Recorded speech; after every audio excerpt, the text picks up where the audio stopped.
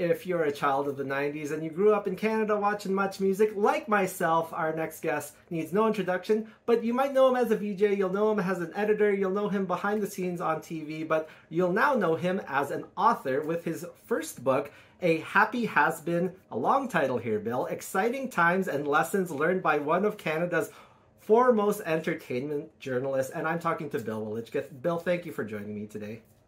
Thank you for having me, Ryan. Uh, yeah, that is a long title, isn't it? You forgot to read the foreword as well. There's a little backstage pass thing featuring the foreword by oh. Tragically Hips. Yeah, it's a, it's a long title. Yeah. it's it's one of the longest titles I'm sure they have at the Kitchener Waterloo Library. But the title itself, uh, I'm reading the first chapter there. You talk about the term has been. Why the title A Happy Has Been? It's gotten a lot of attention. The title, uh, I'm okay with it. I know it's self-deprecating. That's fine.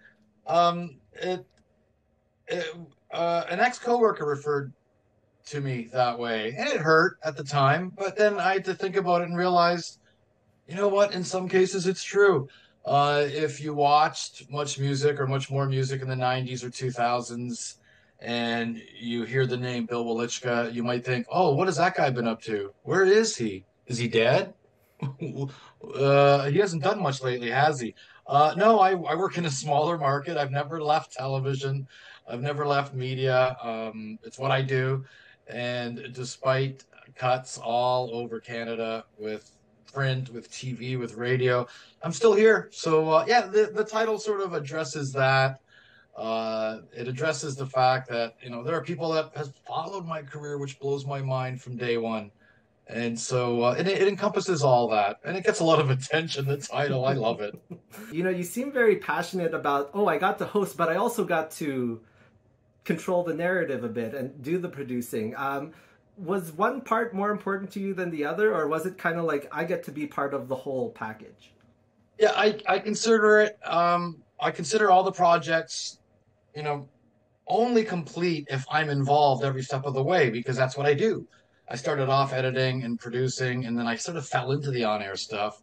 And I realized one day, I don't think there's a TV station in the world that would have a record company or the station fly that person to Switzerland, interview Shania Twain, take those tapes, come back, screen the tapes, um, paper edit, and produce an hour special and oversee the post production and hand the tape to master control and label it. Um, I consider it. Uh, I I've always considered it all the important things to what I do, and I love the editing. I love the behind the scenes stuff, and I still do.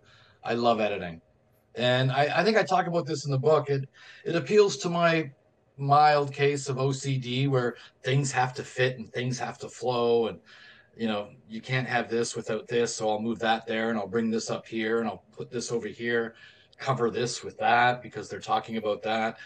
Uh, it's a giant, beautiful puzzle each time. Uh, going from one medium to the other, what was it? Uh, was it? Did it feel uh, like a little intimidating going from like video and, and, and videography and, and radio into actually writing? Um, no, there's a certain amount of writing that I've always done. Um, I was a columnist for the Whig Standard, the Kingston Whig Standard. When I moved to Kingston, I did that for like four or five months, or four or five years rather.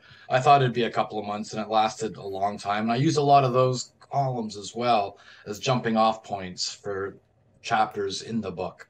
And uh, and I, you know, even when you write an hour special for television, if you need voiceovers, you know, you're writing voiceovers, so you're writing for television um, so yeah, that I, I love writing as well, but to, act, to actually publish a book it was totally new to me, and the processes involved, and dealing with an editor and dealing with a publisher, and you know, luckily the editor came back with not a whole lot of suggested changes, um, just tightening things up here and there.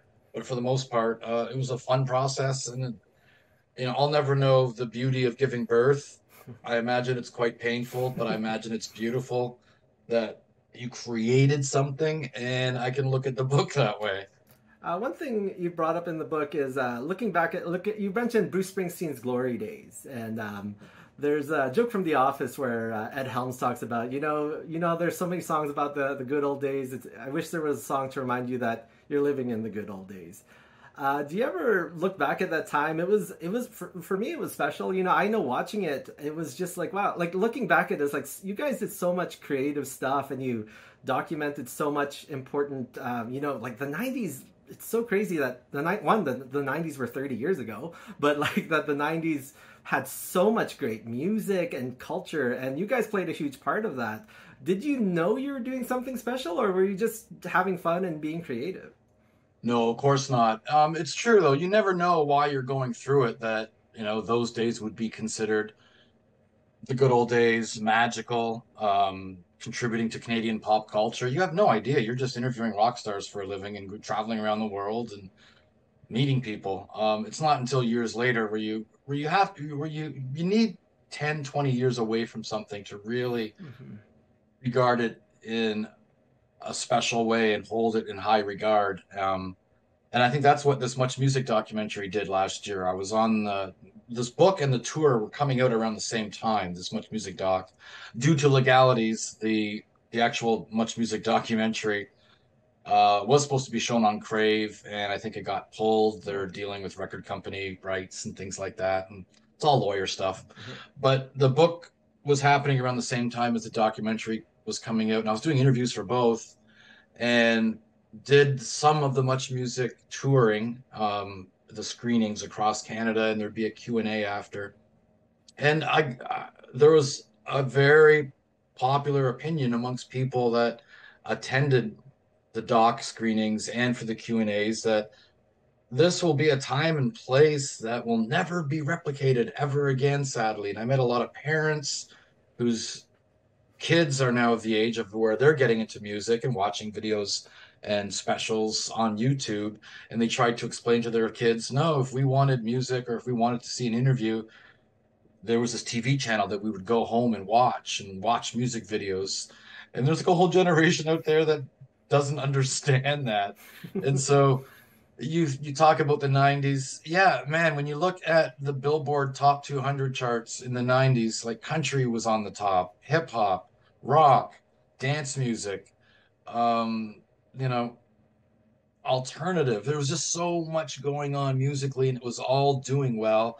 And MuchMusic showcased it all in a way that I think separated us from MTV in that there was a drive for relevance where we could contextualize what was going on in terms of culture and discuss LGBTQ issues, discuss literacy, discuss uh, race relations. Um, and so it wasn't just entertainment and escapism. We framed it in a way that it mattered. And I don't think we see that a whole lot today with entertainment. So there's a lot to be proud of for the 90s and the part of the 2000s, I think, with what MuchMusic did. And um, to be a part of it, how humbling and beautiful is that? Where I'm on the receiving end of people wanting to know about that and talking about it. And uh, it's very nostalgic. I don't like to like i said spend too much time in the past but when someone wants to bring it up those years i'm i have all the time in the world. All right, that's it's a really honor to uh, big honor for me to talk to you. I've been a big fan for all of my life, and uh, I, I'm really enjoying the book. A happy has been, exciting times and lessons learned by one of Canada's foremost entertainment journalists, by Bill Welychka, and he'll be in the Grand River KW area coming up on April 16th. Check him out at Coles in Stratford, uh, the Indigo at Conestoga Mall in Waterloo, and the Indigo in Cambridge, all on April 16th later this month. And Bill, thank you so much for taking the time. It's been my pleasure. Thank you, Ryan. I do appreciate the interest, and yeah, I'm looking forward to anyone that wants to come by and say hi and ask questions. And uh, for more information on the book, uh, billwelychka.ca, and uh, we'll see you down the road. Thank you so much, Ryan. I appreciate it.